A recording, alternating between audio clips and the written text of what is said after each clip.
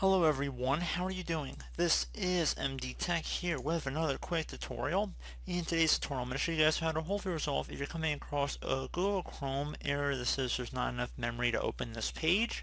So it should hopefully be a pretty straightforward tutorial, and without further ado, let's go ahead and jump right into it. So we're going to go and start by opening up the Start menu, just soft click on the Start button one time. type in advanced system settings. Best match should come back with view advanced system settings. Go ahead and left click on that option one time.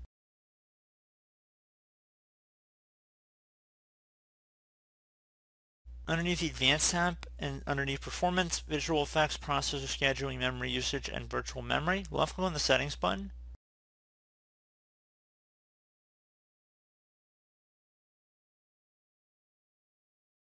And now left click on the Advanced tab again up at the top of this page. And then underneath Virtual Memory, select the Change button. Uncheck the box that says Automatically Manage Paging File Size for all drives. And then select Custom Size. So I'd personally recommend trying 1 gigabyte at first. So 1 gigabyte is 1024 megabytes. So just do 1024 in both of these fields here for the initial and maximum size. If you ever want to go back and change it back to what it was default, you can always go back to the number. Just keep in mind what the number was here originally. And there's also recommended numbers down here as well. You can always bump it up a little bit. I haven't found too many difficulties or issues from bumping it up from this. It doesn't have to be this necessarily. Um, it's just as a matter of how much benefit you're getting after a certain point. And then if you ever want to just go back to letting your computer manage it yourself, you just check mark the box up here to automatically manage paging file size for all drives. So left going OK.